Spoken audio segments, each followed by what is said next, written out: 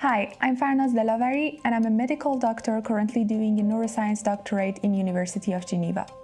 My research aims to look at the biological basis of psychiatric disorders. As these disorders happen with the biological dysfunction and environmental factors such as anxiety and stress, I follow the participants over several years and I use brain imaging techniques such as magnetic resonance imaging or MRI to look at the changes of the brain across the critical time points of the age span. I spend my days in the lab either acquiring images or processing pipelines to turn these images into meaningful information. I work with a qualified team of clinicians, medical doctors, and engineers to have a multidisciplinary view when we try to unravel the pathogenesis of psychiatric disorders.